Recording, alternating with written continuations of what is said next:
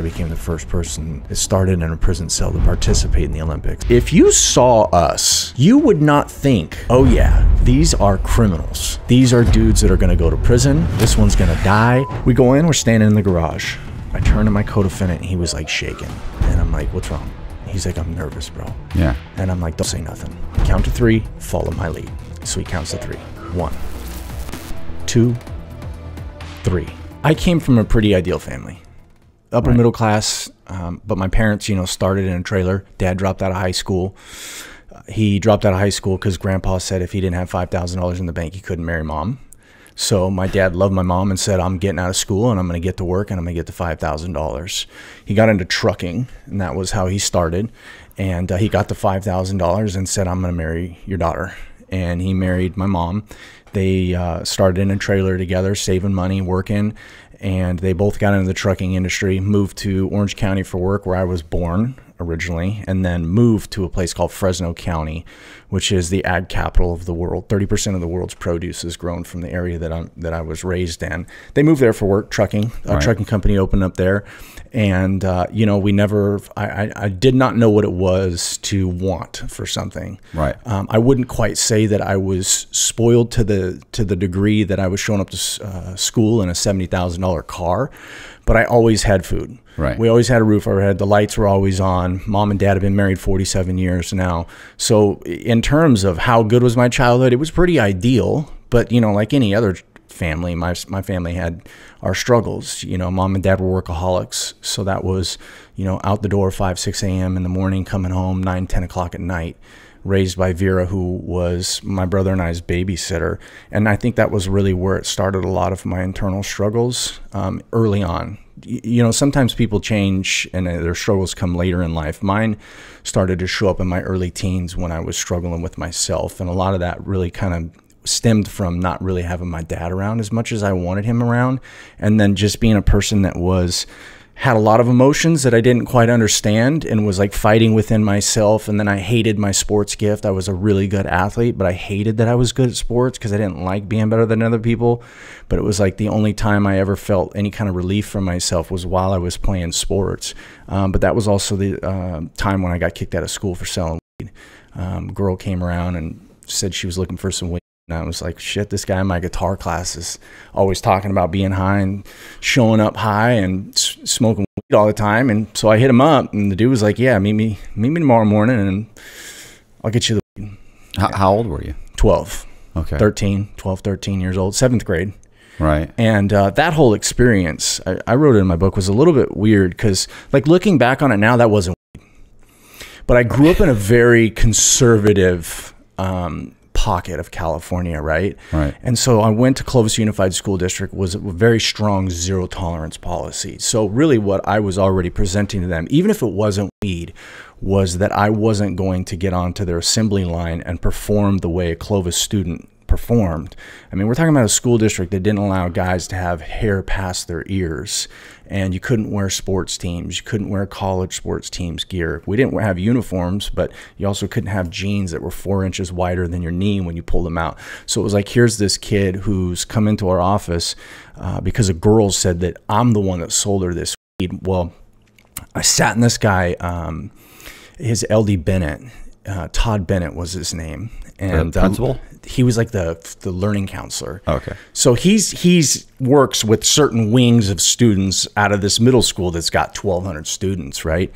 And uh, I still to this day don't like this guy. What? There was just something. there was just something. Dude, there's good people and there's bad people. Straight right. up. Right. Like I've met good people in prison, and I've met really fucking bad people that have never been to prison. And this guy just had that aura to him. And even I picked up on it when I was a kid. That's just something ain't right with this guy, right? He interrogates me for like three hours. Doesn't let me call my mom, doesn't let me talk to anybody. And I'm like, yo, I didn't do this. Like, I don't know what you're talking about there's some guy behind the apartments that's probably selling it and you know then they send the cops out and they couldn't find the guy and then they come back in and they're like you're lying. I'm 12 or 13 years old right. Bro. like looking back on it this is illegal. Yeah. Like my mom should have been called. My mom should have been there. They should have said hey do you want an attorney present? Like how do you want to do this? And then we would have said show us the And then we would be able to say, this is leaves, Right. dried leaves. You're not kicking my son out for selling weed. That's not even weed, right?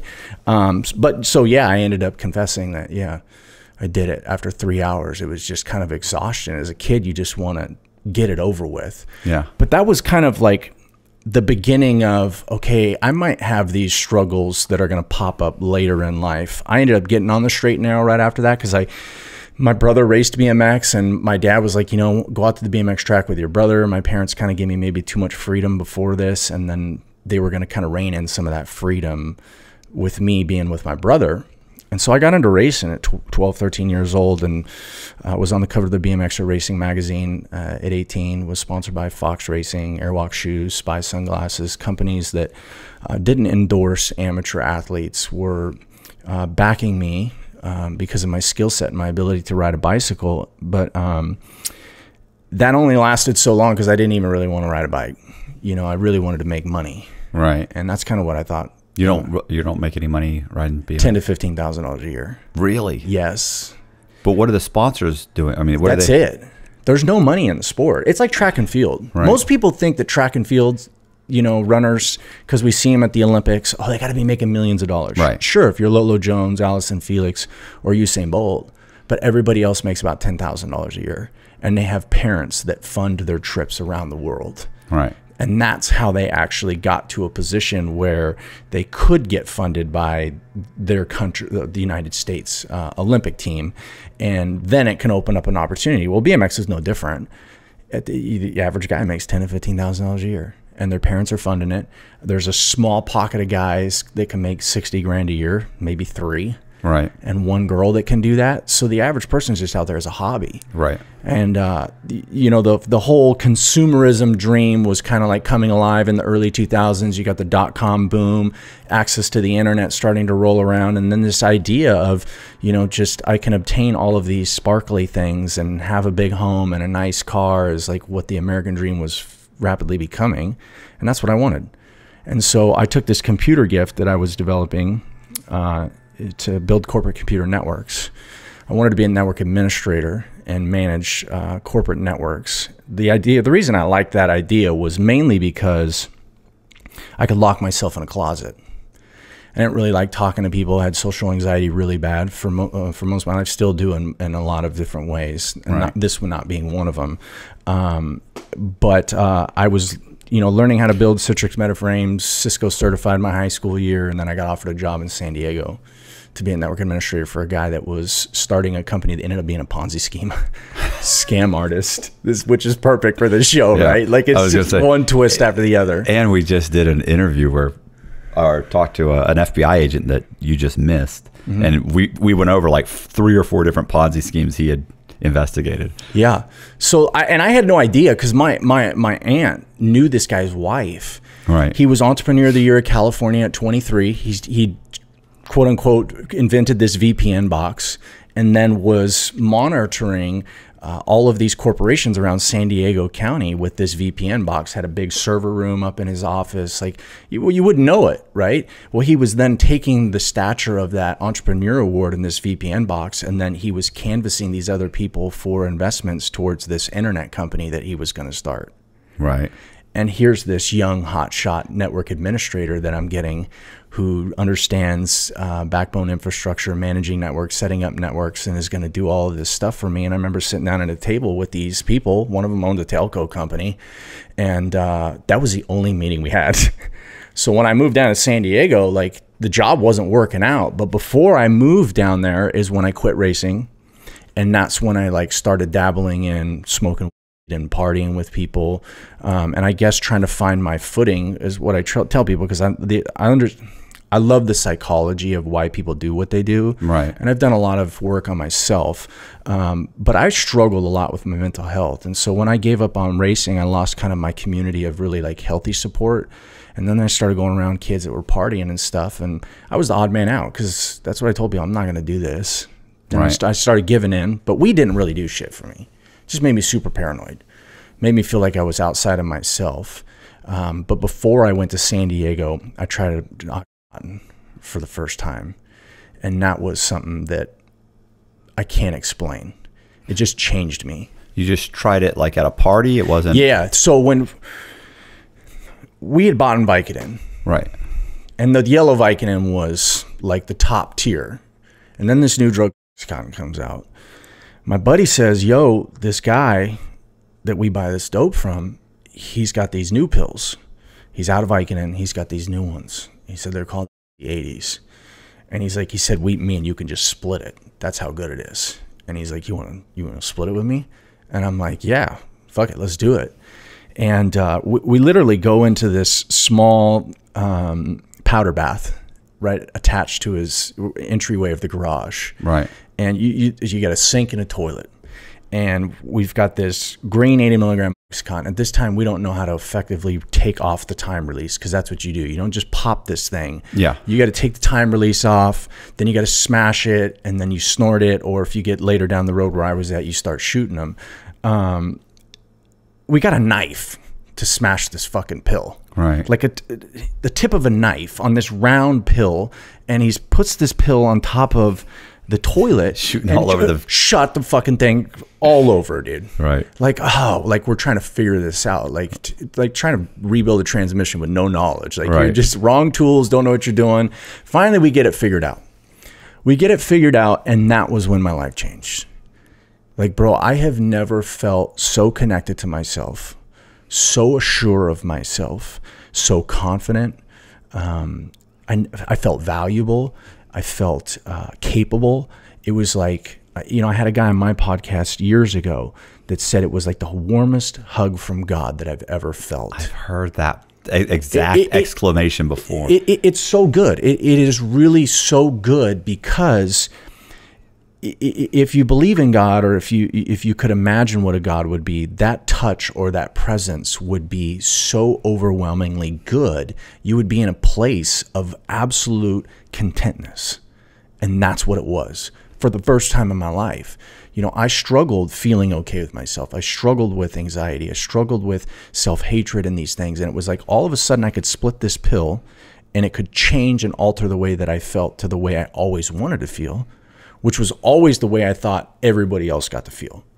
I was the odd man out that never got to feel right. I was going to have to take this drug to try and fix me. Well, that day, obviously, my life changed in understanding that I liked Oxycontin. Did it a few times when I moved down to San Diego. The job didn't work out. But while I was down in San Diego, I was smoking a lot of weed. Like Did that was the job not work out because the FBI showed up? no, or- because he was he was just running the scam of getting these people to give him the money, right? So we show up, we have a big meeting one time, and he says, "This is Tony. He's going to be my network administrator. This is going to be the phone number. This is going to be the website." And these guys are investors. oh, so there really is no job. Is that it? Or Well, so he has, and this is crazy because he worked for a company called All Bases Covered. Okay. Which at the time, Tim Motz was the CEO. And if you know anything about Tim Motz, he helped start Apple Computers with Steve Jobs. He also was the CEO of EA Sports. It's in the game. And he, he told me this. I met him on an elevator. Cool little old short guy. Right. And uh, he says he was the CEO of EA Sports. I, it was crazy. I had an, a little interaction with him. But when I moved there, looking back, all the stuff was set up that this wasn't going to go the way we thought. So we go to dinner, we go to this sushi restaurant, and he's like, So the company's not quite ready yet. I'm going to interview you tonight to see if you can be a consultant for All Bases Covered, which is basically All Bases Covered outsourced IT work to corporations. So instead of having an in house IT guy, they call All Bases Covered, they send out Tony, he works on your network, works on your computers. He asks me all these questions, and he's like, All right, um, yeah, you'll be fine. And so he puts me on the payroll at all bases covered, making twenty dollars an hour in 2002, which was actually a really good pay for 2002. Right. You know, but the problem was I don't look 40 right now. right. At 18, bro, I looked like I was 12. Right. I went into this law firm and a lady came up right on my back as I'm working, grabs me on the shoulder and said, Sweetheart, can you stop working on the computers? She called all bases covered and said, We don't want him working on the computers. He looks way too young. There's no way this kid knows what somebody that's older would know about working on computers. So then I wasn't getting hours. And I'm down in San Diego by myself, young 18 year old. I got no friends, but I've got a second cousin who lives at the bottom of this hill. My aunt was pretty wealthy. She lived on top of this hill. In uh, Rancho uh, Rancho San Diego, and he lives in a trailer, and he smokes. So I go down there and start smoking with Zach, and uh, next thing you know, these Chaldean dudes rolling, and I'm like, "What the fuck are they doing?" He pulls out this big old duffel bag, fucking boom, full of, and it's this shit called P91 and it's specifically run by these Chaldean, which are uh, Catholic Iraqis that uh, migrated to a pocket of San Diego. P91. They run it, they own it exclusively, and it is still to this day some of the best I've ever smoked in my life. And uh, these other guys meet up there, and they're thousands of dollars of cash, ounces of weed. And you're just there to smoke some I'm, weed. with I'm just You're there to smoke out. some right? Right, with your and cousin. so, and I'm thinking to myself, well, I'm down at the beach. Right. There's a lot of money going I'm, I'm back and I, forth I here. hang out with these college girls that I went to school with. They're going to USD. USD's a lot of money. There's all the parents are paying for all these kids' apartments. Front me a quarter. right. I'll take it down and see if I can sell it. Um, and at this time, you know, wasn't really a party drug. So the college kids just wanted to drink. That was one thing that's changed in the years is kids smoking weed is, you know, just as acceptable as drinking alcohol. But at this time, it was still a very like, yo, you're doing, if you're Right. smoking weed, right? So it was still difficult for me to sell um, more than I was actually smoking for myself and with the girls that I, I grew up with and at their apartment on the beach.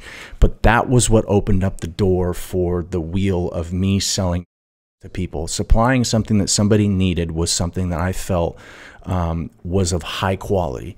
Um, I'm a very detail oriented person. And like looking back, like the, me getting into the way I got into selling it um, makes perfect sense. I'm just a detail oriented person. I, I pick up on the small details, and so it was like, I don't I don't want Colombia from or uh, I don't want uh, from Canada, and I don't want from Mexico. I want weed that was grown in a hydro tank or grown up north, and you can tell the difference between those two types of weed. And I want to sell people the highest quality, and they're going to come to me for the highest quality weed.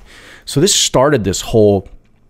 I could sell this stuff Right. then the job doesn't work out. Like I'm not getting any hours anymore with all bases covered. And I ended up telling the guy, I was like, yo, I'm, I'm going to go home. Like clearly something's not happening. And I think I'm just going to go home. I didn't find out that he was wanted by the FBI until I was in prison several years later. My dad actually sent me a, a article from Yahoo. They believed he was hiding in Spain um, and took off with his money and had um, basically stolen millions of dollars um, from people, including his in-laws. He got his in-laws for a million, and uh, yeah, but how, you know, I'm a kid. I don't know. Right. I remember this guy working on a computer one time at his house and literally smashing it with his hand and thinking, It's not "You're a computer guy, it. Yeah. and that's what you do. Something ain't right." You know, but he lived in a million dollar house and drove a uh, Mercedes, an S500 Brabus Benz. You, you That's think, easy. That's easy to do when it's Ponzi scheme money. yeah, but you think when you're young that people work hard Yeah. And he achieved that. Yeah. And then you become an adult and you start seeing people with Lamborghinis and you see people with these stuff and you wonder, I wonder how they got that. Yeah. Because that lifestyle takes a lot of money. Right. And when they're running and gunning like that all the time, so, usually something's up, right? So I go back home and I start looking for a dealer. I'm going to start selling to my friends. Getting a job was not something I wanted to do. I couldn't sit down at a desk, bro. And I still can't. I can't work for anybody else. And I can't let somebody else define what I'm worth. I'll create my worth through the work that I do and the value that I bring to help the people that I help with what I help them with. And so I find a dude to start selling me weed. And at this time, I'm making money and I'm starting to buy these Oxycontins. Not thinking much about it other than it's this pharmaceutical pill that makes me feel great. I'm going to buy them as much as I can and I'm going to sell as much as I can. You know, started working up my uh, up the ladder to where I was, you know, picking up three, four ounces at a time, five ounces at a time. I was never a big uh, 20 pound dealer. I wasn't putting shit in a mailbox and sending it to Atlanta where they didn't have good back then. Right. I was selling to my friends. And I start getting hooked on these pills more and more. And Or building up a tolerance and Yeah. not really realizing what's happening. yeah, well, now I'm taking three a day. Yeah. That's not good. And and it's not one in the morning, one in the afternoon, one in the evening. It's usually one at two, one at seven, one at 10. Right. I'm, you know, really cutting down the time that I'm taking them. Well, I tried for the first time and I tried and it, I didn't like it, but I couldn't stop doing it, which was weird. Uh, but that's how works if you've ever done it. You, you go up, you come down really quick. So you want to go back up really quick. So you're not feeling down. And I end up thinking to myself, well, maybe I could sell this shit. And this is when things start to really get out of control for me in terms of like selling and bringing in cash. I was originally buying um, small amounts, teints and eight balls from this guy in, in my neighborhood. And I was like at one point going back like five or six times in a night, picking up teens and eight balls to sell, turn around, make some cash. And then I was going to save that cash, buy more, and then buy more pills. Right. Well, finally, one time I leave this guy's apartment and there's this dude on a street bike just down the parking lot. And he's like, come here. And I walk over to him and uh, he says, here's my number. Don't fuck with this guy anymore. He started to realize this guy ain't the one buying the f- Right. is this dude, The motorcycle guy. motorcycle guy. He's like, call me for it. Well, next thing you know, he's like, I'll, f- I'll front you whatever you want. You know, now I'm picking up six, seven, eight ounces of driving around fucking this really super conservative part of California called Clovis, where you know you get pulled over for being a Mexican, a black person, an Asian person, or a white dude out past ten thirty at night just to see what what you're up to, right? And uh, you know I'm making two, three thousand dollars in a night sometimes, two, two, three days a week. Well, now my pill problem goes through the roof because now I can use four, five, and six pills. But what we were doing at that time was mainly getting them from a kid we went to school with. His mom had multiple sclerosis.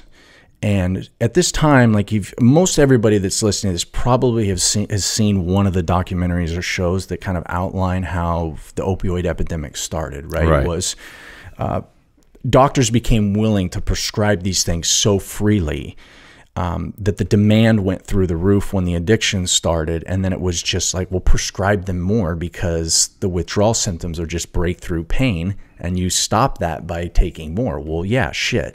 If I don't want to withdraw from I just shoot more. Right. If you don't want to withdraw from cotton, which is pharmaceutical, take more cotton. So the night that I tried the cotton with my friend in the bathroom, mm-hmm. we walked out of there and we were, when we got high, we were so pumped. And our friend says, My mom's got thousands of these things at home. And we were like, Bullshit. Motherfucker showed up with a freezer bag filled. Is she not top. taking them? Or she's just getting the, the script filled every single month and just taking what she needs and has Right. the leftovers, so it's just gaining? Correct. It's got to be. Yeah. That's the only explanation. Freezer bag filled. These are the 40 milligrams, so they're like a yellow mustardy color. Right. And he says, just give me $5 for each one. They're $20 for a 40 milligram. Right. So all of us, many of them which are dead now, start buying these pills because who doesn't have $5 on them? Right. Well, over a short period of time, it goes from who doesn't have five dollars on him to like, yo, Yoshi's hawking his Xbox right now, Right. Or he's stealing shit from his parents to buy these pills, and uh, she, she caught him. She finally figured it out. Well, the brother got into it too, and then all of his friends. So it was like you've got two siblings going to the same medicine cabinet, draining the only supply that exists for that for us at this time. And when she caught him, that was when we were we were introduced to the highest level of withdrawals because now we can't get them. Right. And I, like I told you earlier, to me, how I explain that is the worst flu times a 100. Right. I had the Delta variant of COVID and it put me in bed for, I don't know, 13 days. Like I was sick, sick. I would rather have COVID every four months than ever have to experience an opioid withdrawal ever again. Like I'm totally cool with being in bed 13 days and in excruciating pain from that versus what opioids do to you because the opioids the the part that really messes you up is knowing that you can stop the pain that you're in just get the drug. And because of that, you become willing to do things that you would you you promised yourself you would never do. You never saw yourself doing. Um, you become willing to do things to stop this pain that you're in because you know once you get the drug, it instantly stops and the pain is gone. So we can't get the pills anymore. So we're trying to find new dealers. Well, we find new dealers, but if you've watched the opioid segments and, and stuff, there was a period when Purdue Pharma wasn't producing enough for the demand. They were overprescribing. Then the demand was far, um, far more than the supply was, and this is when uh, regular folk were showing up at the pharmacies, pounding on the desks and yelling at the pharmacist, "Where's my fucking prescriptions?" Um, one of my best friend's dads was one of those people Right. um, he was being prescribed it and he's going to the pharmacy banging on the thing like where's my fucking pills well we don't got any like we're waiting for them to show up um, so we would kept going through these routes and it had been several months had gone by and we were withdrawn i was living with some kids that i went to high school with my parents kicked me out of the house they found me a quarter pound in my backpack when i came home from san diego and uh, my mom's going to flush it down the toilet and my dad's like, "What the fuck are you doing? Like you don't know whose that is. Right. Don't don't you dare put that in his car and he can get out of here." And my dad was like, "We don't do this. This Right. ain't how we run our house. Get the fuck out." But I don't want to get you killed either. But I don't want to get you Yeah. killed either, right? My dad, um, he was a professional motocross racer, and he's even got a story. His best friend, Wardy Ring, uh, which was his mechanic, uh, they went to Mexico, and uh, they were going to do a big. Wardy was going to do his one big last drug deal for like seven always the last big for you know, seventy. I think my dad said it was seventy five thousand dollars that he had hidden inside an uh, a motor of a motorcycle, and uh, uh, they found Wardy dead. And my my dad goes back to the motorcycle to see if the cash is there, and it's gone. Mm. So I know my dad knows. He's never really disclosed like what it was like when he was younger, Yeah. and he's kept that tight lip, probably because he doesn't want me to follow his path. But he's but he's done some stuff. He's done some Yeah. stuff enough to know. Don't you dare flush that down the toilet. Like if he owes money for that, they're gonna come looking for him. So they kicked me out of the house, and I was living with these kids. And if you saw us, you would not think, "Oh yeah, these are criminals." These are dudes that are going to go to prison. This one's going to die. This one's going to be 40 years old, in and out, living on the street. Uh, this guy is also going to go to prison. Like you wouldn't think that because up to this point in you know the early 2000s, any education that we got on addiction was a person that had darker colored skin Right. or no teeth Yeah. this is what addiction looks like. Yeah. They didn't show you the alcoholic doctor Right. and surgeon. They didn't show you the pharmacist who was struggling with a phentermine addiction because they had body dysmorphia and needed to lose weight. So they were stealing the phentermine pills from the pharmacy, right? They didn't show you that highly educated people or light skinned people or just regular people could become addicted to anything and that addiction could take you on this whirlwind, right? So these kids that I'm talking about are, are kids that at that time you would look at and be like, what? These are these are good kids. The reality was we were up to shit. Um, I was going to say, I was going to mention that. Remember that the book I told you I wrote, Generation. Mm-hmm. Like all four of the kids were white kids, blonde hair, blue eyed. Um, some were lower middle class, but most of them were upper middle class. There was like five of them. All of them were on the their high school wrestling team. Mm-hmm. Four of them went away, got scholarships and went away. Like you would never look at the, and that's really why I wrote that story because I was like, it was so unique because I'd heard the same types of stories, but you're right, it was always black kids, Hispanic kids. It was always. It, it, it was it was never like these clean cut all American white kids that they're so desperate for the pills. They're they're doctor shopping. They're picking up homeless people. They're paying for their MRIs. They're sending Yep. them here. They're and this was before they had uh, the um, the the statewide registry. When that Oh, yeah. happened, then they just went out and started to get just multiple people. It was the same thing.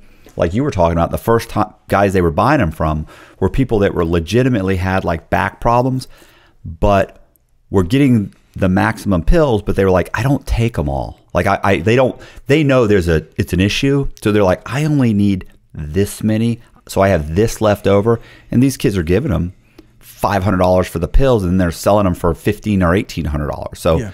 Who doesn't want an extra five hundred dollars? Right. Or for us, you know, if, at the time w- when we get develop into the story, the, the cheapest pill that you could get from the pharmacy was about nine dollars and fifty cents at Walmart on Kings Canyon. Everybody else, every other pharmacy was between ten and twelve dollars a pill. That's per pill. That's straight wholesale.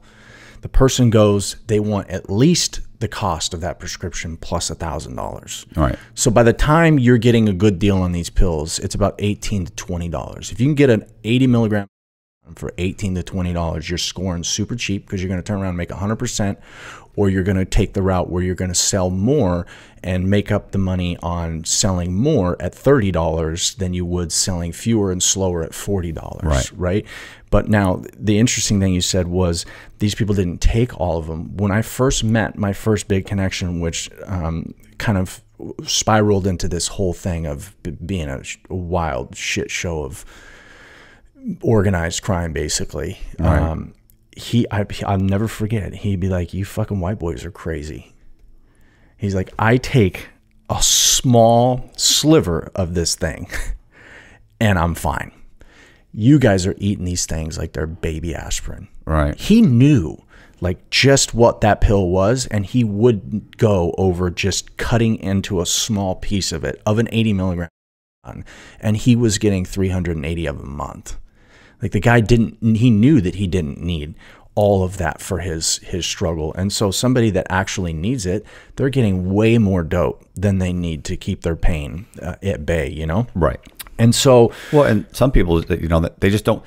If you're smart, you realize you're going to have to live with some pain. It's the people like, I don't want any pain. Well, now you become, you very quickly become a drug addict. Like, Yeah. If you've got a back problem, that well, here I'm going to give you these pills, and it's going to go away. Like the the smart choice, or a smart conversation to have with the, with your patient is, it's not going to go away. You're going to have to live with some pain. Yep. Because they'll keep upping the dose until they have no pain, and next thing you know, is a full blown drug addict. Yeah.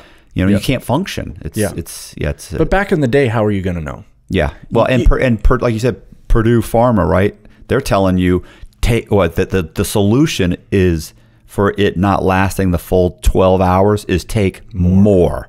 Like yeah and and you know what uh your dad my dad um the boomers they all believed that doctors Oh, were the smartest people in the world absolutely. they understood every aspect of these medications they were prescribing and why would they give us something that would cost us our life our freedom or our ability to logically make decisions anymore At, and at that time, there were no documentaries explaining that they're pushing it. That it's they're fighting over getting getting the client getting that doctor as a client to push it, and they're paying the doctor to push it, and he's getting a piece to push it, and they're giving him speaking engagements that he barely shows up for, if at all. Yeah. that they're they're they're sending him on junkets on these great vacations. Like there's all these things that they're doing to like you you know that's to, to pad their to pad their pockets to get them to push more and more and more. Yeah, it it, it really uh, has been good to see so many documentaries bringing awareness to you know something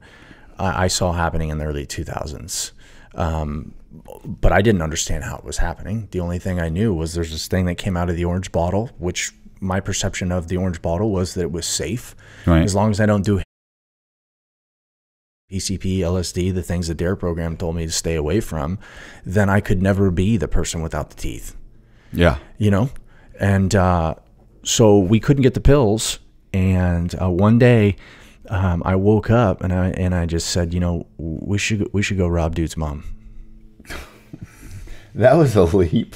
I mean, that's that's a hell of a jump. It's me, two of my co-defendants, my girlfriend, and one of my co-defendants' girlfriends were there. And they're like, "Oh yeah, we should do that." there was nobody. Nobody was the, the voice of reason to go. Well, we're all coming down. Maybe we talked to our parents to try and get to a drug rehab.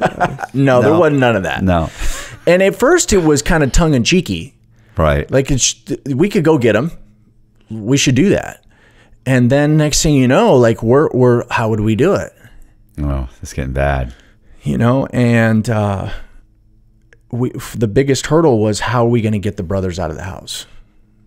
because they know you. Yeah. You're still you're trying to do it not. Yeah, we don't and want them to know. it. Yeah, we was. I mean, Right. So this and this is where it gets it gets fucked because you're you're scheming on. Well, how would we do this? Right. You know, and and there's a threshold. Once you cross that threshold of this is possible, Right. You're planning you're, it. you're going to do Yeah. it. And uh, and that was what it was. Yeah, this isn't hypothetical. This is a plan. No, this is a plan now. And uh, one of my co-defendants that um, died at 28, he uh, he called the brothers over. He's like, "Hey, yeah, come by, let's hang out." When they leave the house, we leave our house.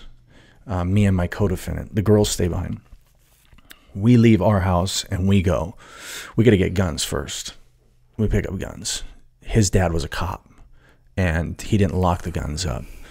So we go to his house. Because you think mom's going to put up a fight, or is she going to even be there? Well, and this that's the thing. I could have used a souvenir baseball bat. Yeah. Um, you know, like I, I'm the first to tell you, uh, I, I'm not. A, I didn't go to prison because I'm some hardened criminal that um, was willing to do these crazy things and shoot and stab people. Right. You know what I mean? I armed myself with a gun and committed a home invasion robbery with a mom in the house. Yeah. Um, there's nothing courageous about that, right? I- I- everything about that speaks to desperation.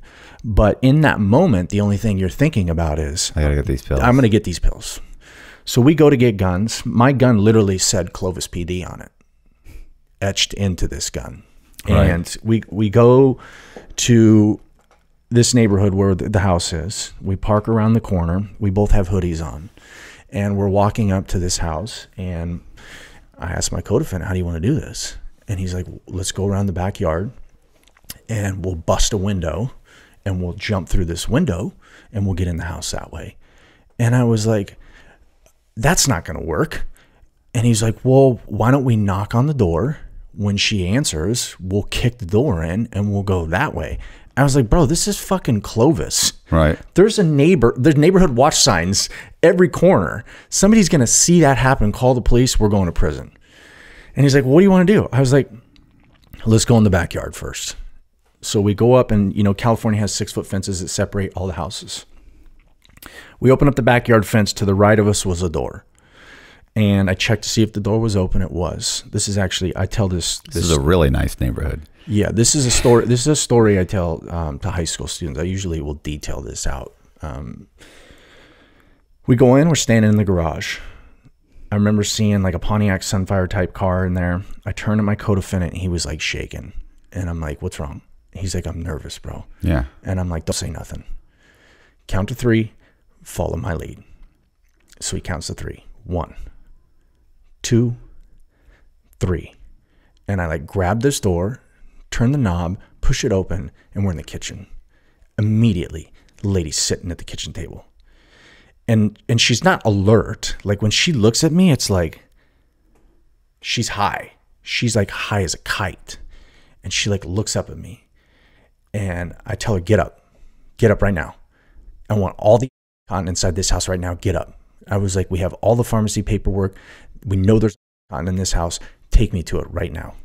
So she gets up from the kitchen table. She makes a right down the hallway. There was family pictures on both sides of the wall in the hallway. We get to the end of the hallway. We make a left. When we make a left. We're walking into the master bedroom. When we walk into the master bedroom, I remember looking to the back and there was a deadbolt lock closet.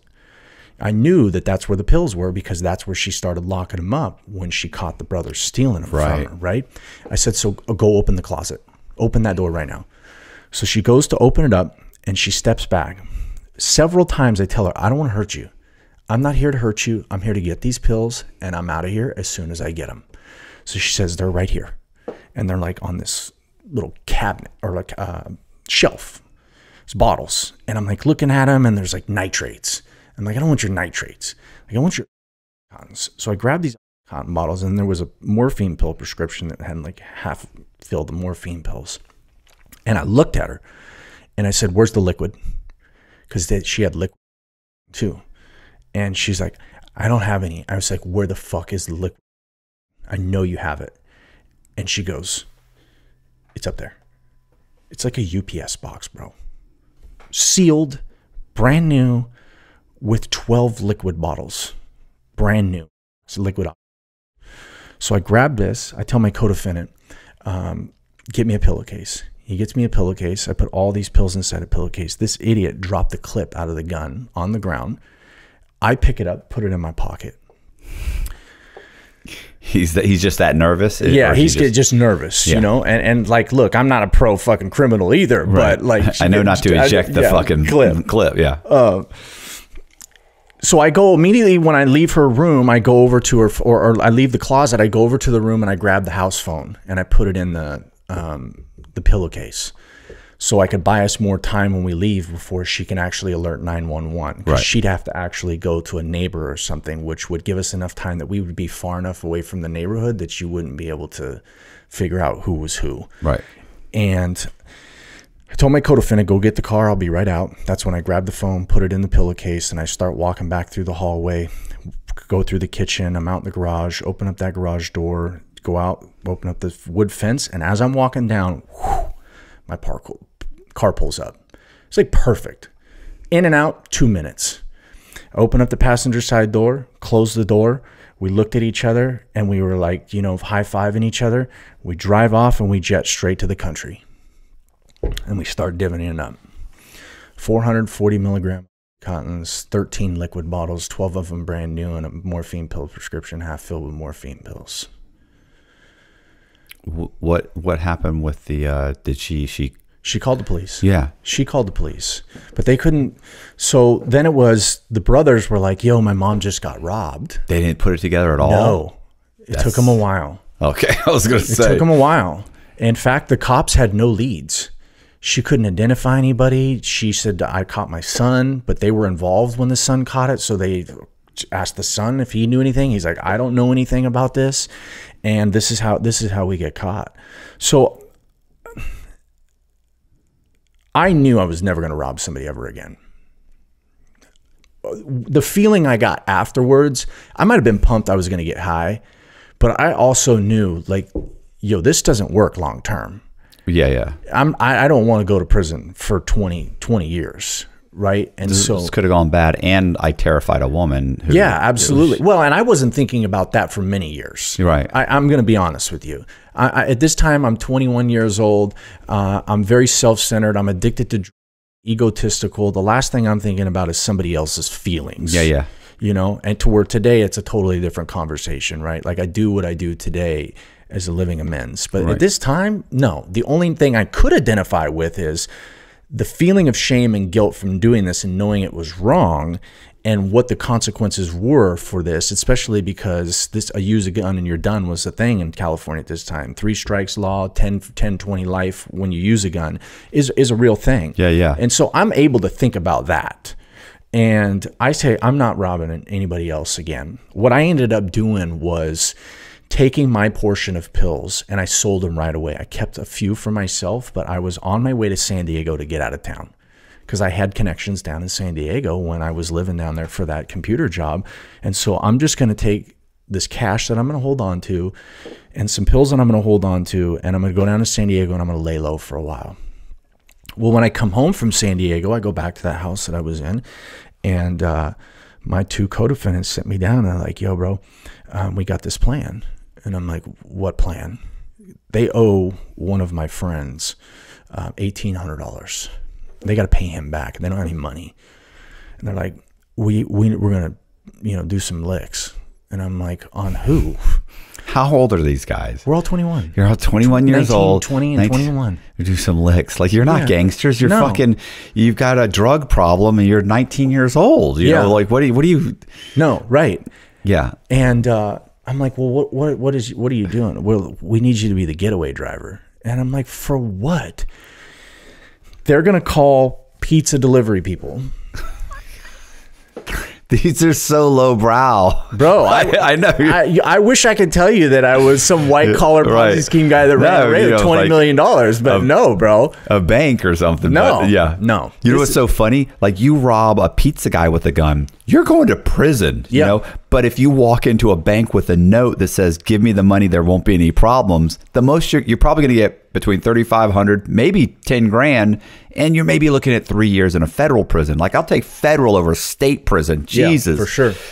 you know and you could really get in trouble like if it's a carjacking or if you pull them out of the car oh my god it, Yeah. and you're in California California. oh and at this time, no I don't want to go to California state prison yeah, we can talk about that. No. because I've been there and I know all about it. it's no good bro No. I don't i never even been and I I had trust I don't me. hear any good things Uh, it, it's probably a lot lighter now, but it, what you've heard is probably accurate to the mo- to depending on who you've heard it from, because there are some cats that are you know very prominent internet figures yeah that have exaggerated uh, exaggerated yeah, yeah. some of the stuff. But yeah but still they're going to invite or they're going to call order pizzas to model homes that are just finished. Lights on address light works but nobody's inside and the doors get left open at this time because it's the early 2000s Right. in a small community like this you could still leave your doors unlocked. You could still leave the keys in your car overnight and nobody's going to get in and leave with your car right? So when the pizza person gets there they're going to rob them at gunpoint take the money they have on them, steal their car, drive it to me as their getaway driver, and then dump that car and we're going to leave. And I was like, you're fucking going to prison. This is never going to work. And I was like, and how much are you going to get from a pizza delivery driver? A hundred dollars if he's made several stops before this one? Right. Like you're going to do 18 of these to pay this guy back? Like, have you thought about this? I was like, I'm fucking out of here. You know, after the second one, I think the, even even the local cops would go, "I think maybe somebody's robbing pizza people. Maybe we need to call the pizza delivery people. Like this seems like it might be a thing." That's exactly what happened. Are are you serious? Yes. They did the first one. All right. Remember, this is a small community where you get pulled over at night just to see what you're doing. So they they do the first one, and I remember they came back to the house. They were all excited, and they had their Me-n-Ed's pizza. They took the pizza fucking from the dude too. Well, I can't blame them. I love pizza. So Yeah. uh, the pizza that was all that was a that was a foregone conclusion, and I'm taking the pizza. Get the pizza. That's like get the get the cannolis. Yeah.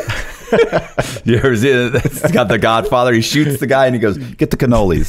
Sorry. Yeah, Sorry. don't forget the food. Yeah. And they're all excited. They do another one. And this is when I completely split out.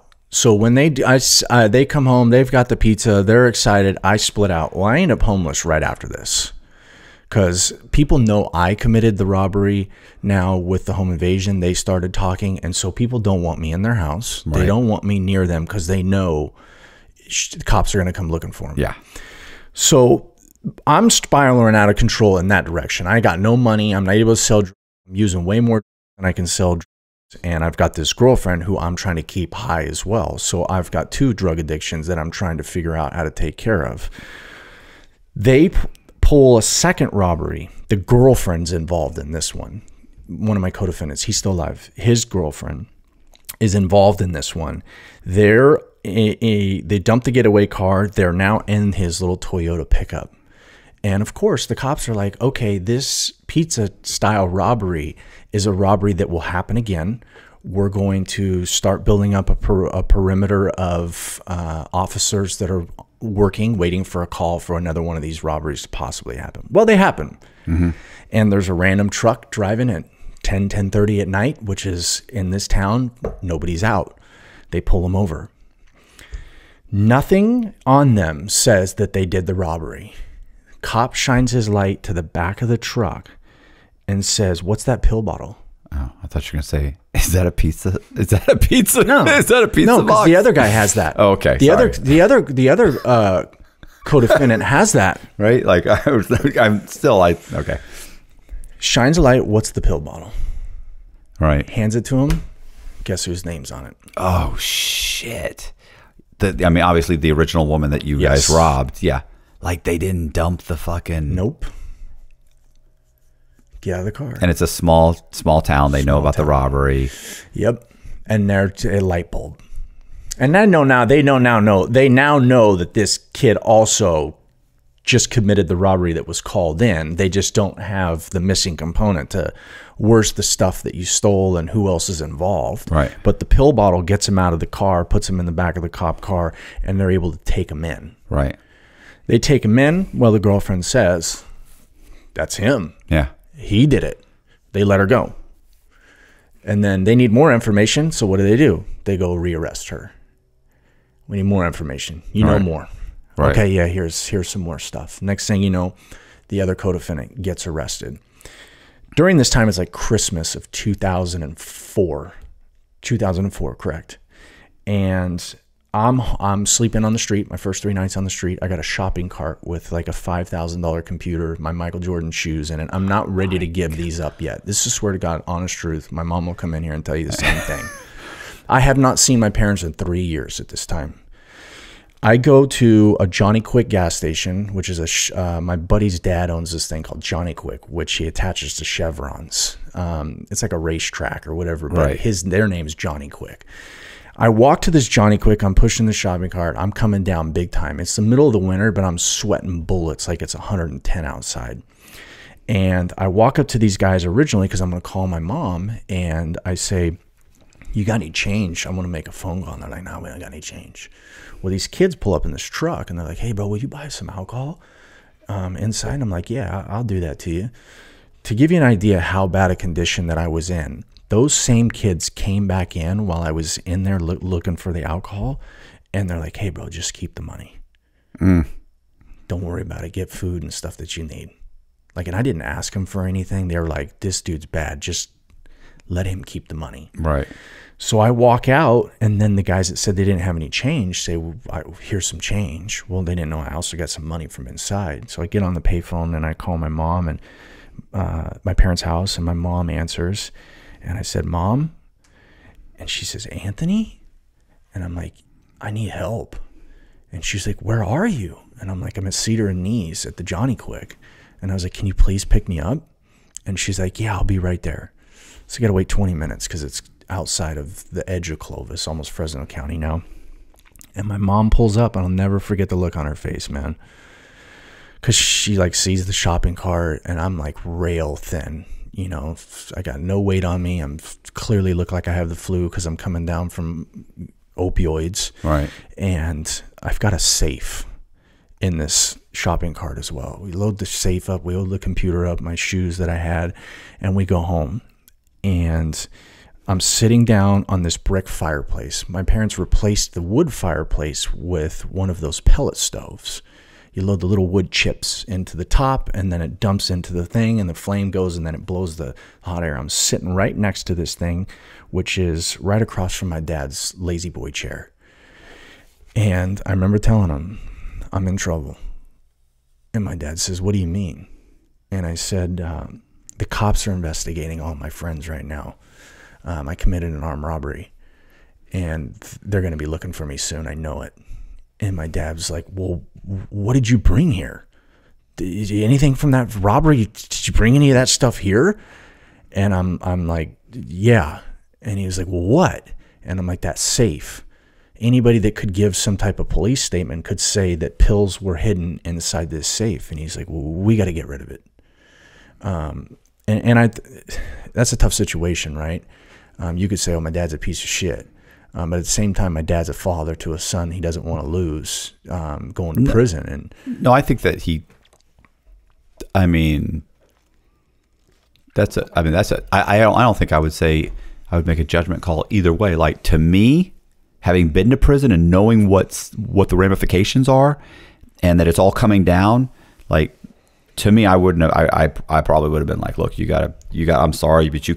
You have to leave. The safe has to go, or you have to. You have to take care of that because I can't be involved. But I think nine. But that's because of prison experience. I think ninety percent of fathers would say, I got to get rid of the safe. Yeah. You know what I'm saying? That's what, but me being in prison, Yeah. And that was a hard thing for me when I was writing my book because my editor was like, we have to tell this story. And I'm like, I, I really don't want to bring that type of judgment to my father because he's a good man. Um, I think he- best example of a man that I've ever been given, you know, but at the same time, well, you know, it's, at- your, it's you, it's, Yeah. it's your son. yeah, and and and and my dad you know, as much as he get out of here, we don't do that. I'm not going to be a part of this. There, there was this component of my father where he stepped in, and he, he he did what I would hope any father would do is try and protect their family. Right. He got rid of the safe.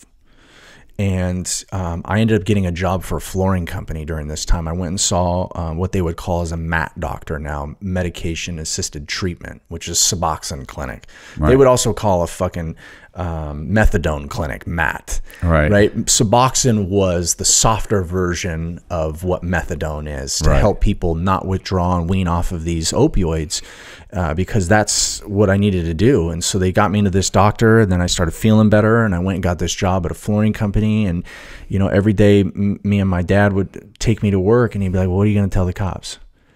You- You're just waiting for them to come. You, Yeah. you know they're coming. Yeah. Well, f- first of all, you, you know all all your buddies. Like, uh, sorry, I, I don't mean to interrupt, but No, you're fine. um, I was gonna say that that book I read. Like, I remember at one point, his buddies had some other guys had been arrested. And I was like, "Well, were you concerned they were going to say something?" And he goes, he said, "There." He said, "He goes, let me tell you what happens." He said, "You're addicted to, to you're addicted to." He said, "Even if you were to try and be strong, say I'm not going to tell you anything," he goes, "They'll just wait two hours." He's two hours later, you're throwing up in a in a in a garbage pan, or sorry, you're throwing up up in a um you know a garbage barrel Yep. in the interrogation room. And they walk in and they'll give you a soda if you'll just tell them something. He goes, "You're ready to tell them anything. You're Yep. coming down. You're you're you're going through withdrawals. You've never been in so much pain. You're you need sugar. You need." Something he's like, and he's like, you'll tell him anything, and because he was in the same thing, he's like, look, when I came down, he's like, I'm ready to do anything. That's exactly Anything. right. He's like, even if you think, well, I would never. Well, bro, then you don't have a clue. Wait, Yeah, wait don't. three hours. You may not be able to because you're balled up into a, a corner crying. You know, I, I, I t- when I first got the jail, I, I was so anxious because I was feeling all my emotions and, and, and body again. Mm-hmm. But I was so exhausted, as I couldn't sit still. But if I tried to get off of my bunk and take 15 steps to the payphone or the phone, it was like running 20 miles. Right. It's the weirdest thing ever, dude. Like you're so exhausted and tired, but at the same time, you feel like your internals are crawling outside of itself and running at a million miles an hour. So I get this job, and I st- got one friend who's communicating back to me what's going on. right? And he's telling me it's getting closer. It's getting closer. They're calling this dude in. They're calling this dude in. They're getting statements from everybody that's close to us. Uh, February 4th at 11 a.m., I'm just getting up. I'm fucking butt ass naked. I'm about to get in the shower. And I hear the doorbell. Just somebody just like ringing it over and over and over. And I hear this thud. And I'm like, what the fuck? And I'm thinking it's my buddy coming over and he's just being an idiot pushing the doorbell, right? So I, I walk down out of the bathroom and I walk down this hallway. We've got these like little arches um, through our hallway, and then it opens up into the master bedroom or the the family room. And off the family room are, are two big sliders that take you into the backyard. And as I'm walking out, I look through the corner of my eyes, and there's four cops in my backyard. And I'm like, oh shit. So I go up to the front door, and we have a screen that you can't see through. And they say, Is Anthony Hoffman here? We have a warrant for his arrest. And I open up the screen door, and uh, I'm like, Yeah. And they're like, Where's he at? I look nothing like my my photo. Like I look like a 10 year old in my my driver's license. Right. So they didn't even recognize me from this. And I'm like, I'm Anthony and they're like, uh, step outside all the way and, and put your hands behind your back. This time I've only got underwear on. All right. So they've got to take me back in the house and I've got to put clothes on. They had cops lined up and down the street. There was like 15 squad cars. And I was like, did you guys really need 15 squad cars? And they're like, do you know what you're wanted for? All right. Like, we don't know what you're going to do. Yeah. If you're going to shoot out with us or do whatever, we consider you somebody that's armed and dangerous. You used a, a weapon f- your your crime. yeah. I mean, even the term it, home invasion sounds horrible. Yeah. So they they uh, they take me to, to they, they interrogate me. Um, a, a guy that looked like Patrick Swayze, and uh, I'm like handcuffed to the chair. Right. And uh, I was like, "Man, when are you gonna let me go home?" And he was like, "Mr. Hoffman, why do you think you're handcuffed to this chair right now?" And I was like, I don't know, but you don't have anything on me. And he's like, I've got Bob next door. What do you think he's saying about you? And I was like, I don't give a fuck what Bob says about me. That dude's a snake in the grass. And I was like, and he was like, and I've got your fingerprints on a pill bottle. And he puts it right here. And I was like, I can guarantee you right now, my fingerprints aren't on that pill bottle. They weren't. Right. They had nothing on me. The only thing they had were these uh, hearsay statements that said that I was involved in this robbery. My parents, this is the one thing my dad will tell you he ever did for me. He will never do anything again until he dies. That's the last dollar I ever get from him. He, he spent this money on this guy, Michael Idiart, who at the time was the best defense attorney in, in uh, Fresno, one of the best defense attorneys in the state of California. So I go to court with this big wig attorney, and he says, I'm not here to be your friend. I don't care about you. I just need to know what happened, if you did it, how you did it, so we can figure out if we can get you off of this or not. And so I tell him the story. And he says, if your girlfriend tells or your co-defendant rolls, this is over. If we don't get statements from them, this is easy. We're walking out of here. They're not even gonna be able to get you on anything because she can't identify you in a photo op, and she was the one that got robbed. Everybody else's statements can't pin you actually inside that house.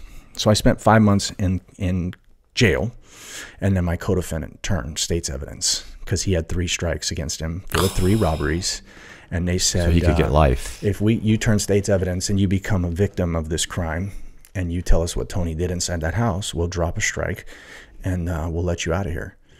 And he all of us none of us did prison time right out the gate. This is crazy. I never told on anybody. And a lot of people that have been to prison hear my story and they're like you told them. I'm like nah you don't you have to understand. I went in with white skin Mm-hmm. with one of the best defense attorneys in the state of california best defense attorney in Fresno County. My parents spent a ton of money. This guy's reputation is what got me the deal that I got, which was five years felony probation, a strike on my record, and 90 days in a treatment center. He told me, I'm going to move you out of the courtroom that we're in right now because this judge is a no go. And he goes, I'm going to put you in my best friend's courtroom. We play golf with each other every single week. Jesus. And they knew they knew nothing about it at this time. I remember the judge saying Right. to the DA because they had no idea. Do you think that time. worked for you or Yes, against you? it worked for me because somebody I'm friends with now came in behind me and his family's attorney tried to use my case as special circumstances. Like, hey, you can't sentence this guy this and then give my son five years in prison. And uh, they denied the special circumstance uh, sentencing based on how I was sentenced because they recalibrated how they would sentence on crimes. He was robbing people at ATM machines. As soon as they would go get the, uh, the money, he would hand, rob them at gunpoint um, at the ATM machines. Another guy that I went to high school with robbed seven CVS pharmacies. He was a pharmacy technician. Right. Just got hooked on biking, and then next thing you knew, he knew how to jump over the CVS counter and go straight to the. Um, these people like him is why they started putting him in safes and had signs on the windows that said, "Cotton is locked up, or we don't have any. Stay out of here." Because so many people started doing these types of robberies just to get these damn pills. So I get out and I don't change. About 60 days after I get out, the MAGEC team raids my apartment, which is the multi agency gang consortium. It's like a mini task force, it's mini SWAT team, but it's like Fresno County, and then all the little cities pull like their best cops for this gang and drug f- task force. They raid my house, and Wait a minute. So you're still you're so you're selling pills still? yeah, I get out, and 60 days later, I end up getting some pills. Okay. And uh, this guy I get pills from, he's like, why don't I front you eight of these pills? Right. And I'm like, all right, I don't want to do this, but fuck it. And then I can get them for free. So I start selling these pills. I go to re up on my second one. As I'm leaving my apartment, there's a MAGEC car at the front office. And I tell my the guy in my car, I was like, that MAGEC car's in here for me. And I was like, you got anything on you? He's like, I got half a pill. I was like, take it right now. He's like, why, dude? I was like, that, that's for me, bro. I promise you, there's no gangs in here. And uh, as soon as we drive by him, a dude runs out of the office, a cop, jumps in that car, gets behind us. I was like, bro, take that fucking half pill right now. And then right up the street, dude. 10, 12, 13 cops blowing up the street. They were just getting ready to come and raid my apartment as I was leaving. Right. Little did they know I was out and I was going to pick up. If they would have waited two hours, they would have got me with everything that they wanted. So when they pulled me over, they pulled me out of the car. They're pulling all the vents out, lifting up all the mats, trying to find the dope. And the guy's like, We're going back to your apartment and we're going to find exactly what I know we're going to find. And I'm thinking, No, you're not. All right. Let's did your, go. Did your buddy take the pill? Yeah, he took the pill. And he had a little grinder, but you can't do anything with a grinder. So they take me back and they don't find nothing. And then over the course of that moment where they don't get anything, and if you know anything about the cops, if they raid your house and don't get anything, the chances of them coming back right away are very slim. You have to be like big time for them to spend the money and resources and have a warrant signed off where they can come in and even do that. So when they left, I was in the clear for Yeah. years.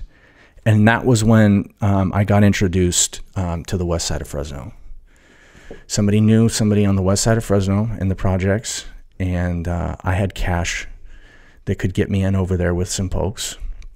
And uh, that was when things started to really like get out of control in terms of like how many pills we were seeing and what was actually happening because what was happening over there on the west side was they knew where the doctor was and they were creating a team of people that would go in and get these prescriptions.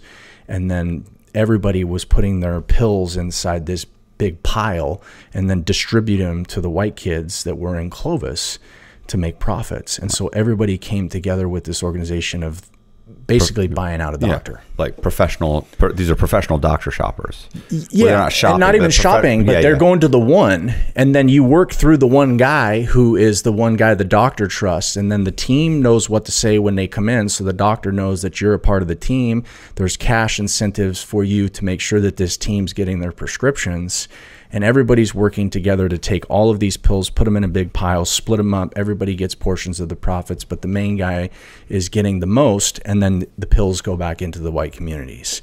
And it's not a blacks trying to destroy white communities. This is just how it worked. Yeah, yeah. And uh, of course, I wasn't able to stay up because I'm I'm a, a drug addicted person. Right. It, it- it goes downhill to the point that um, I started to lose my connection over there because they couldn't trust me. Right. And uh, I finally get arrested on January 22nd, 2007, after being homeless for six months. So you weren't living at home at your parents' No, house. They, uh-uh. they were like, No, they were. Rocks. Yeah. After my apartment got raided, they didn't talk to me again after that. So it was almost two and a half years that I didn't talk to them. And uh, they violated my probation. They found me in a house that was uh, up for rent, that was empty. Um, a person came in to show it to somebody, and I was laying down on the floor with my needles next to me, and they thought I had overdosed and died. So they called the paramedics. That was on January 22nd, 2007. And uh, 30 days later, you know, because it was a violation probation, it was pretty cut and dry. I'm on my way to prison. Uh, I've got a four and a half year term. And uh, that was, you know, I started in cell living. So when I got to California prison, I got to see what California prison was all about. So it's a pretty cut and dry thing. I, in 30 days, they violate my probation, and, and I'm on a bus to the California penitentiary. I started in a level four yard, which was cell living. So I was on lockdown for 23 and a half hours a day. I'm grateful that I got to experience that first um, because I told you when I, uh, before we started, I actually met a couple solid guys um, before I hit the mainline prison. So this was just reception the first 90 days. And I'll never forget this, you know. And anybody that tells you they're not scared when they're going to prison for the first time, they're fucking liars. All right. I don't care if you're a Bulldog gang member, a Blood, a Crip, a Nazi lowrider, or a skinhead. It, you're scared the first time because you don't know what's going to happen. You're in a paper jumpsuit. I'm in a paper jumpsuit. My arms are shackled. My ankles are shackled. And I'm sitting on a bus for three hours going to this location. When I get off the bus, the first thing I hear is that the whites and Bulldogs are at war with each other. I don't know if you heard any of that when you went to the Fed pen. No, the first day I was there, though, somebody did get stabbed, and they screamed lockdown that somebody got stabbed in the rec yard. And I thought, this is this isn't good. I'm not prepared for this. Yeah, and I think that we probably all have some type Right. of moment where you realize uh, what my cellmate Rai Rai from Ventura County said. Yo, this place is fun sometimes, but it's still prison. Right. And that means we never know what's going to happen. And so I'm like, what does that mean? The whites and the bulldogs are at war with each other. In Fresno, we have the Bulldog gang members. It's a Hispanic gang that doesn't claim to be Northern Hispanic or Southern Hispanic. They claim to be bulldogs and they're not run by a shot caller. They just do whatever they want So I get educated on what war means. What war means is if I cross a bulldog or I see a bulldog, I have to try and kill that guy. If I don't try and kill that guy, my people will kill me for not taking off on him because that's the way the politics and the rules are currently for this. And this is this is some type of vengeance for some type of white and bulldog happening that happened at some point when they were on the yard together. Something happened. A white and bulldog went after each other. Then the two cars, the two groups said, "Okay, we're at war now. Anytime one of our guys see each other, we have to. We're going to try and kill you." And uh, you know, they we went through the whole strip down thing. It takes hours. I get to my cell at about 10:30 at night. And I remember walking into the cell block and all you could hear was bulldogs barking and they were on the lower tier because if you put a bulldog in the upper tier, they would clog the toilets and they would flood the tier. Like they were really interesting people when it came to prison. Like they were not there to do time; they were there to disrupt everybody and anything that they could because that's what they like to do. Right. But they also their call is a bark, and some of these guys' barks sound like real ass dogs. So you walk into this cell block and you're listening to row, row, row, row, row, row, row, row, and then you're hearing, you know, blood swooping out the door, and the Crips got their call. The only ones that aren't doing anything are the Southern Hispanics and the whites that are up on top. And they say, uh, I got cell 254, top bunk. And I remember looking up, seeing my cellmate as I go up the staircase. And as I get closer, he's got a big white power on his stomach. And on the back of his head, he's got a big swastika. They call him Dizzy from Antelope Valley. He's an Antelope Valley skinhead. And I'll never forget this. I shut the door behind me he pulls out a, a piece and uh, he says, "There's a no hands uh, there's a no hands policy on this yard, youngster. If you got a problem with me, you have to stab me with this piece. If I got a problem with you, I'm gonna stab you with this piece." He goes, "You can turn around and lock it up right now. Just bang on that door and tell that cop you want out here and you want to go PC." And I'm like, "Nah, I'm not gonna do that." But what a no hands policy meant was you can't fight with your hands if a problem exists with this person, it has to be a problem to the degree that you're willing to stab him over it. If you fought somebody with your hands, you'd get served the punishment for breaking the rules. That night, though, I sit down on my bunk and I read this quote that says, Be careful what you think, because your thoughts become your words. Be careful what you say, because your words become your actions. Be careful what you do, because your actions become your habits. Be careful what you make a habit, because your habits become your character and your character becomes your destiny. And I just kept reading it, and it made so much sense to me. And at that time, I wanted a different life for myself. But I'm in this environment where you don't get a different environment. You're here. And so I started thinking about what that meant for me. And really, what it meant for me was that my perspective on life at that point had been completely miscalibrated. That most of the problems that I had in my life, and the reason I even reached out for was my perception of things, my perception of self and my safety, my perception of anxiety, what that meant, my perception of friends, my perception of cops, teachers, everybody was miscalibrated. I always put myself in a position of lacking power. And so I started to realize that, you know, maybe I have an opportunity right now to start changing my life while I'm in here and and be prepared to get out. Because when I went to rehab after I was sentenced for the armed robbery, uh, I wasn't paying attention to rehab. I'll never use again. I'm good. I don't want to go to prison. That's it. All right. Not realizing that's not the way it works. So while I'm here, though, in this cell block, I'm introduced to these things that are just completely blowing my mind with how prison actually is. My neighbors were skinheads and they were porters, but they would try to not lock the cell door because if they could keep the cell door open, they could get a they could get a bulldog that's going to med call, or a bulldog that gets to leave the cell to go somewhere. Sure shit, one day, dude. They didn't close the the cell door, and the cop in the tower didn't notice that their cell wasn't closed. And if he did, then he was in on it. Right. And um, a bulldog comes out to go to med, and uh, this dude Tr goes down there, squares up with him, and starts fighting this dude and uh, they're spraying him with the pepper spray. And I'm sure you've been around that pepper spray. It's not like the shit that you buy at Dick's Sporting Goods. That mm-hmm. pepper spray is like so strong it was choking us in our cell, and mm-hmm. we were 50 feet away from it. Still don't stop. Cop in the tower, get down, get down, get down. Still don't stop. Get down, get down, get down. Still don't stop. Bow. shoots the gun, hits the dude, boom, fight stops. And like everybody's on their cell windows, Is it like beanbag gun? Bean- uh, okay. So block gun. Okay. We use block guns in California. I think they have beanbags, but only for the right for right groups. But the gun of choice is a block gun. It's basically a a cork, a, a oval cork with a a racquetball, half a racquetball on the tip. okay. But when that thing has Yeah, velocity it's- on it, you should see the bruises it leaves. Right. That stops the fight. Rai Rai turns around and he looks at me and he goes, I told you, bro. You can have fun here.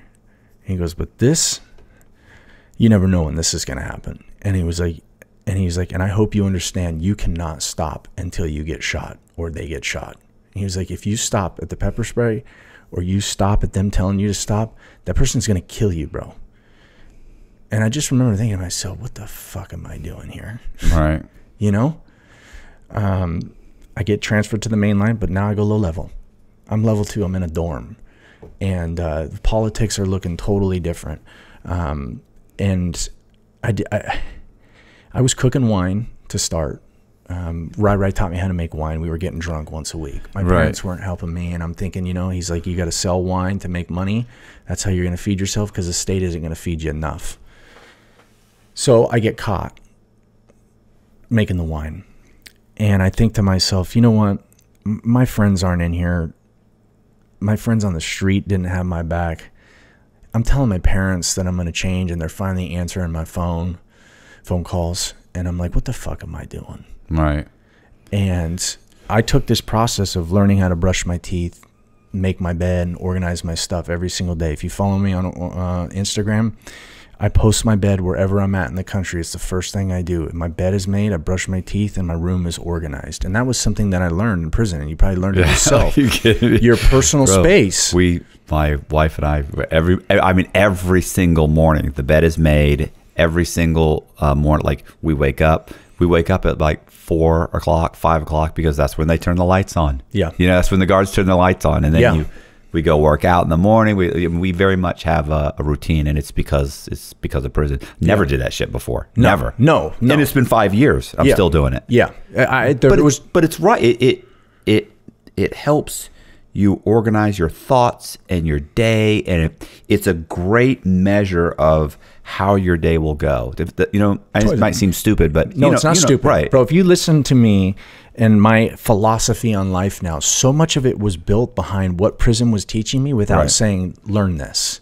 Yeah, Stru- discipline, structure, routine, being okay with little, not needing much, right. sitting with myself in a way that I couldn't. I can't leave. I can't hide. I can't do things. Sure, I could have used dope because I've seen more people come into prison, alcoholics and meth addicts, and leave heroin addicts than anything else. Right. Like there's more dope in California prisons than there is on the street. Fortunately for myself, I had made that decision that I'm done. This is my opportunity to get this right. Because if I don't, I'm going to die on the street. And that's just not going to be my story, you know? And so um, after the wine charge, I start tightening the bolts on my life, you know, figuring out and, you know, really reflect, reflecting on myself and what I was doing wrong and what I was doing right. And I think that there were great qualities about my drug dealing um, desires, right? Is to serve other people. But the, the instinct in how I was doing it was what was miscalibrated. So it's like, I'm an entrepreneur at heart. Like I need to create things that help other people. And by giving in a way um, that I've been gifted, then I'll feel, I'll, I'll fill these voids that I've had in my life. And so I started really to reflect on like what my needs were and what I was doing and then disciplining myself and like, you know, being able to abstain from what everybody else was doing um, for me wasn't so much of a challenge because I was so beat into the ground when I went in.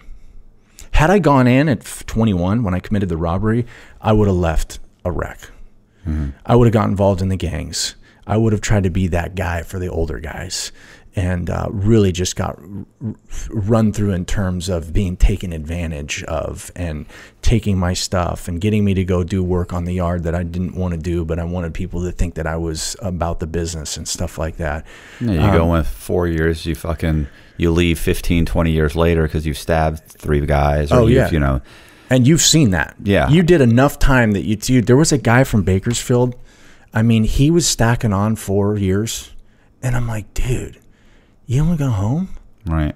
you know, these people that you don't even know, Yeah, you're you're trying don't, to that don't impress care them. about they, you. they don't care about you Right. either. You know, your friends in the street didn't care about you. These guys don't care about you either. Yeah. Even though I'm like I said, like some of my closest relationships with guys now are all guys I met in prison. Yeah. you know what I'm saying? Because Yeah. there's a good there's good guys oh, there. Oh no, yeah, You you, know. can meet the good ones there. They're very But, few. Yeah, they're very few. You I met be- two. Yeah. In two years, I met two. You know, you did 13 years. You got enough time to probably meet 10, maybe. Right. That And some are still in there, and some aren't. yeah, and that's okay because the ones that are in there that are good people are, you know, f- calculating all of their mistakes and righting their wrongs with what they do in there today. Right. You know, and one of my greatest mentors, Toby Wade, who was actually a black guy I wasn't supposed to talk to in prison, served 21 years for murder, and he's out now. Um, but everything he was doing while he was in there and then helping me and not asking for anything in return um, was to, to, to, to make an amends right? Like he didn't want to get out and make an apology tour. His apology tour was how he was going to change himself inside and then the work that he was going to do when he got out to be a family man, a father to his kids, a husband to his wife, a taxpayer to the government, if you want to consider that a, a, a good thing. Um, Right. All of the things that he does today that keeps him out of prison. And that, that was really what, what I was aiming to do. But I started it with just brushing my teeth, making my bed, organizing my stuff, learning how to do all of the things I knew I could control. Because I had learned in 23 years of my life at this point that there are many things that are going to happen in our lives that are out of control. And so, I mean, there was situations that I would see things in there that, um, you know, would falter as you're going in there because you know you, I- you said you saw somebody get stabbed. I remember one time I'd work out on the yard and there was a dude just sitting there like three laps. I'm and I'm walking the yard, just in a puddle of blood, laying there, and I'm like, "Fuck, dude." Nobody's gonna say nothing. You can't say nothing. You're just waiting for him to close the yard. Yeah, like who, you're waiting for a cop to finally see it, hit the alarm, and then everybody close the yard and go in, you know. And I've and, and the fights, you know, it's no holds barred. Whatever goes goes. I remember I watched a, a, a Southern Hispanic gang member and a black dude fight, and uh, the black dude was a two striker, and he took a lock off of one of the uh, lockers and he just like turns around gets up sidearms it and i'm like on my bed watching this fight and i watch he's throwing it towards me and it just shoo, boom right on this dude's forehead and just blood and I remember thinking to myself, oh my God, that was so sick. He couldn't do that again if he tried a million times. Like that was like right in a pipe to his forehead. It struck him out. Doing life in prison Life now in prison for throwing a off. for throwing a lock at him. Al- although like the the bloodiest fight I saw, what wouldn't consider a fight, attack, was a guy with a lock that hit a guy four or five times in the back of the head. With a sock or just a lock no, in no, his he, no, no. He had a you know the belt. He had a belt Oh. wrapped around his arm, looped through the lock. So it's the lock is here. yeah. So and I mean just walked up the highway, and rack, rack, rack, and the Yeah. blood was everywhere. Yeah. And I remember first thing I thought of was because there was so much blood. Was did, what, did I get blood on me? Yep. Um. Anyway, fell down. Guys tried to stand up again. Brah, brah. But your scalp blades so much. You know, like I, Yeah. I just remember thinking that, you know, it certainly wasn't a fight. It was just an attack. Like I had no idea. Yeah. And it was over something that really needed to be taken care of. It was over a punk. Oh yeah, that seems that's- legit. that the seems the one I watched was over a bag of chips. Yeah, of course. So that's that's reasonable. of course. Can't believe you waited prison so for long. a bag of chips. Yeah, seems legit. Um, and you know what? That was that was prison life. Uh, and by that time, you know, um, I was a model inmate. And, and I tell people, uh, you know what? I, I, the war stories as cool and as entertaining as they can be. When you get to prison, I, there's a lot of motherfuckers that can do what everybody else is doing. That's the easy thing to do. I only saw a few people the entire time that I was there on the same wavelength that I was on. Like I'm going to get out, stay out, and I'm going to do something with my life. Right? It was what what can we do today to make a difference for tomorrow? And um, something inside of me, the spiritual experience I had, and something inside of me, just I, I wanted something different for myself, and I wanted to get out and see what I could do with that. You know, I came from a great family, raised in a good neighborhood, went to a really good school. Like I have everything at my disposal, and to throw that away would be what? You know, there's people that dream to grow up in a neighborhood like I do, have a family like I do. Have some people don't want to be the color of their skin and think of how easy I got it because the color of skin that I got. Like, and here I'm going to throw it away and end up in prison. Right. and spend my life here uh, hooked on and shoot dope until I die because that was what was going to happen. I was going to die in a hotel by myself or be found on the street, you know, and I would just be another another statistic, a person that wasted their talent. But I got out and I and I started racing BMX professionally. Um, my parole agent thought it was all bullshit. Told my mom he was going to rearrest me in 30 days. Why? He didn't think. he said, "What are you going to do?" And I was like, "I'm gonna. I've been training for the Olympics." And I was like, That already sounds. Yeah, already. yeah, thought, yeah. Oh Jesus, a dreamer, another Yeah. dreamer. You you you you had a better chance if you'd said I'm going to be a rap star. "Oh yeah." How many times I hear? Oh I yeah, hear dude. Well, so here's what I tell people: in a California prison, if you're black, you're a rapper. Yeah. If you're white, you're an MMA fighter, and if you're Mexican, you're connected to the cartel. yeah. I've heard every story. Yeah. And they're always that. I'm a rapper, I'm a fighter, and I'm connected to the cartel in this. It's like, dude, get out of here. You're none of those. Right. You're a person addicted to or you're a criminal and you're in prison just like me. He says, What are you gonna do? I said, I'm gonna race my bike professionally. I brought him the magazine. I was like, Look, I've been on the cover of a magazine, like I can ride a bike. I was like, but I've been training for the Olympics since I've been in prison. And I really had and uh, and I was like, I'd like to start a nonprofit for kids at some point, and I- and I'm really want to tell my story as a speaker. And he like looked at me and he was like, "Who brought you here?" he must have thought you were just insane. Oh yeah, he's. I said my mom, and he's like, "Go get her." And I'm like, "You want me to bring my mom in here?" right. And he's like, "Yeah." So I go out to the parking lot of the parole office, and I don't know how the Fed parole office is, but state parole office is like a zoo. There's so many people out there pissing and showing up for parole, and so I go out and I tell my mom she's got to come in. My mom's absolutely embarrassed, like she should be and would be. Right. And this guy says, "You know what your son's telling me he's gonna do?" And she's like, "You, you talking about riding the bike?" And she's like, "He's like, he's, your son says he's going to the Olympics. He's training for the Olympics, and he wants to start a nonprofit for kids, and he's going to be a speaker." And my mom, "That's right. He's been working on this since he was in prison." Looks her dead in the eye and says, "Your son's full of shit, ma'am." And he goes, I brought you in here so I could tell you to your face.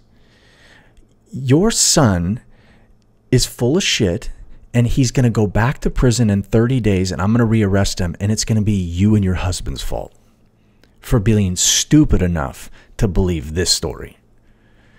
And my mom just looked at him, got on his truth. Um, and he's on my mini documentary. He he's gave me that. I was like, you owe me this. And uh, he said, I told yeah, he's- I, he, we reenacted that whole thing. And uh, That's great. Oh yeah, oh yeah. He says, uh, yeah. I, I So he's "Full all. Shit. No, He yeah, turned he's out all to right. be He turned right. out to Yeah, be yeah. all right. Years later, he came Yeah. back into my life through a random message on Instagram, and uh, my mom looked at him and she's like, "You don't know my son. This kid can ride a bicycle." I was like, "And if he says he's going to the Olympics, I promise you, he'll be there." And we just walked out. Five months later, I raced my first pro race. Hadn't touched a bike seven years, but I've been training my ass off, riding every day. You know, I was already physically fit when I left prison. You know, there's a lot of people get physically fit. I was getting physically fit to get back on my bike though, and I took third place. That first year, I won five races in the lower pro division, moved up to the Olympic level. Um, I was on the cover of a magazine when I was 18, and it wasn't on, I wasn't on the cover because I was lucky. Right. I truly could ride a bicycle, and it was sports was my gift. And my dad was a professional motocross racer. Racing's in our family. We just our brains understand racing, and I had the talent and and, and the speed to make it work. And I got invited to the Olympic Training Center um, my second year, so I started training down at the Olympic Training Center. And this at this time, I'm like building this speaking thing up, trying to get this speaking thing going. But it's not really a career. It's just I just want to help people. Right. Like I just want to tell my story and stop kids from making the mistake that I made, and they need to know that that orange bottle is dangerous. Right? I'm not a criminal. I'm not this dude that comes in here and f- I, I got a ton of people I want to hurt or have hurt. Like I was a person who struggled in his early life and he found in an orange bottle what felt like was the answer and that orange bottle was a fucking lie. Right. And like I just wanted to stop kids from gravitating towards that because in my town there were task force. Everybody was going to prison. People were starting to die, but there was no talk about it. Like people still weren't talking about it. So I end up blowing my knee out my second year of racing, which ends my racing career, and I'm like, what the fuck am I gonna do now? There goes my Olympic dream, you know? and uh, my speaking started to take off, and I started to build up some momentum. And I thought that my my knee injury was a great opportunity for me to start my nonprofit and switch gears from racing to coaching. And that's kind of what I did starting around 2012 um, to the point that we were able to build up, uh, you know, about $120,000 a year that we could raise for the nonprofit, which, you know, for a dude with no education and um, just a passion to help people and no connection to the chief of police and all these rich people in town, like it was good. Right. You know, we're giving away $40,000 worth of bikes, $10,000 worth of skateboards. Dude, kids would camp out at five o'clock in the morning to, for my summer camp signups because it was free Right. and you would leave with a four hundred dollar bike, a helmet. Like we were really trying to do good work for the community with that. And uh, my coaching was what you know became the big thing. And I finally got these athletes to start trusting that I knew what I was doing. Because in the beginning, it's like, dude, you just got out of prison and were Right. homeless. What the fuck do you know about training people? Well, one of my athletes, uh, Brooke Crain, a little blonde girl, 2012, asked me to be her coach, and she was one of the best riders in the world for females. Um, she made the Olympic team in 2016, um, and that was really what dubbed my story from prison to the Olympics. Was I became the first person that started in a prison cell to participate in the Olympics at any level. Obviously, I wanted to go as an athlete, but I made it as a as a coach, and Did the media pick that up? Was that like a, a no, thing? it wasn't. It Oh, okay. wasn't, and it's and it mainly because this is and this all royal, rolls back to um, BMX is such a niche sport, and highlighting things is really about the highlighting of of the athletes, and even the BMX athletes aren't getting any type of. We're at this time they were playing it late at night. The the recognition that I got was actually from the United States Olympic Committee, which to me was one of the coolest we went to a dinner in, in Rio, and there was a bunch of people there with me, Brooke, and her family that were from the Olympic Committee. And you know, Brooke and her family really pumped me up a lot. They, I didn't like to talk in that uh, environment about my stuff, you know, but they would bring it up and talk about how proud they were. They were. And well, after the Olympics, um, a guy named Dave reached out to me on Instagram and said, "I had no idea about your story. Um, send me your address on behalf of the United States Olympic Committee. I'd like to send you something." And so I've got this letter from the United States Olympic Committee. They gave me a special coin that only um, a handful of coaches that were selected um, got to have this commemorative coin from the Rio Olympics. Um, and basically thanking for me for my service to Brooke Crain and the Olympic team and, and, and United States and trying to help the, the advancement of their uh, placements in, in the Olympics and then the coin that um, I now get to hold on to. Um, outside of that, though, at that time, um, there there was no media attention around like kind of what I was doing and what my story was all about, and I was okay with that. You know, it's about Brooke, not me. Right. I'm just there to help her and do what I can, and she's like a little sister to me now. But since then, um, my my speaking career is you know catapulted to where I'm on the road 200 250 days a year, and I'm speaking to governments, high schools, middle schools, colleges, healthcare organizations, you name it, about mental health and addiction. Um, and then I started my own treatment center, PH Wellness, two years ago. We're in Southern California. That's what the PH Okay. is for. I was wondering. Um, and that's Matt Paws, Tony Hoffman, but it's a play on words. PH, uh, PH Wellness. Our slogan is "Find Your Balance," uh, and we we really have created something unique in that um, we only use master's level clinicians, and we have this huge fitness component my thing has really been the clinical part is when somebody comes to ph wellness i want to make sure that these individuals are wrapped around the best of the best um, we have uh, one of my guys is a lifer. My program director is a lifer that served over 20 years but he's been sober and he gets it. My clinical directors have phds and master's degrees. So when they sit down with somebody and they have complex childhood traumas and things that have happened to them that the people that they're working with can actually help them through some of these situations that are the root cause for for why they're using. But the fitness component is what really makes us unique. We have a 5000 square foot fitness center and uh, every every week um, clients are engaging with certified fitness instructors and uh, instructors with our actual uh, treat at our actual treatment center. Um, and so being able to engage with a certified trainer and getting people moving and trying to get active and you know when you get to prison you start finding yourself doing things that you would have never done before because you have all that time to to get creative and get the body moving and kind of spark those endorphins and stuff that can be really beneficial to you. Which you probably, like you said, you still make your bed, you still do some of the stuff that was in prison because it became a beneficial part of like your routine to life. Right.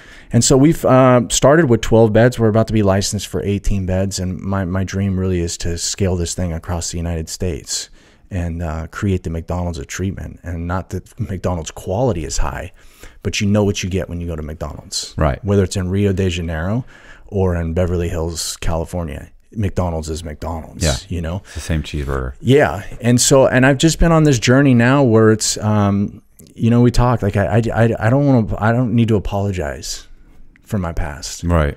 Do I have some regrets, robbing the lady, Yeah, yeah. for obvious reasons, but my past shaped me to who I am today, and I'm okay with that. And what I do today is is my apology. Um, and nobody can make me feel any different, you know, because I know why I get up and do what I do. Um, and, and I'm always grateful for an opportunity like this because some people want to hear about Yeah, yeah. all the shit that you went through because they never lived that life. Oh, I can listen. I already, I can already hear the, the the comments. You ought to go into the comment section when this thing plays because people will be like, "Such was so inspiring! Oh my god, this guy's story!" They'll go on and on. Like because it's funny because they do that. Like every once in a while, I'll have a story and I'll I'll just kind of almost shrug it off, like you know. And then, but then again, people constantly tell me that my story is inspiring, this and that. Like, and I have no, I, I have no desire to to be inspiring. Like I don't I don't even try, you know. But they find it. So if somebody actually has like a real turnaround story where they've really said, "Hey, you know, I'm going to make a conscious change to to do all this and help other people," Yeah. then that's you know that's the people love that. Yeah, why it's I and I the way I look at it is there's somebody for everybody. Yeah, I'm not everybody's cup of tea. You know, some people l- love that your inspiration is not that that was your life purpose and you were going to change that. You know, just you doing what you do is an inspiration because you're not who you used to be. right. Because you don't Well, until wasn't working. into that. that wasn't working right? for me. Yeah. It you know, it wasn't working, and I definitely in prison realized like that this is like I, I just can't do this. Like this is this is like I'm better off staying in someone's spare room working at McDonald's than I am coming back here. Yeah. You know. For sure. I had a you know there's a there's the opposite spectrum of how I talk about addiction and the psychology of it, right? Is um, there's a guy in Pennsylvania and, and his is great cuz it works for a lot of people. He's like, "No. You didn't use because you were sexually abused. You used because you fucking liked it. Okay. That's it. You got to stop using because you realize that it doesn't work for you anymore. There's no mechanics to that. Some people don't need the mechanics. Right. They just need the surrender to that. This doesn't work for me. I'd rather sleep in a closet and work at McDonald's than come back here. You don't need the rest. Right. It's all the same though. Whether I Actually- break it down, I was gonna say I actually did sleep in a closet. By the way, I always say the spare room, but I'm gonna be honest with you. Uh, there was the spare. The spare room was a studio that had a large closet that was just big enough for my bed to fit in, and I slept in the college in the in the closet and used the studio to paint.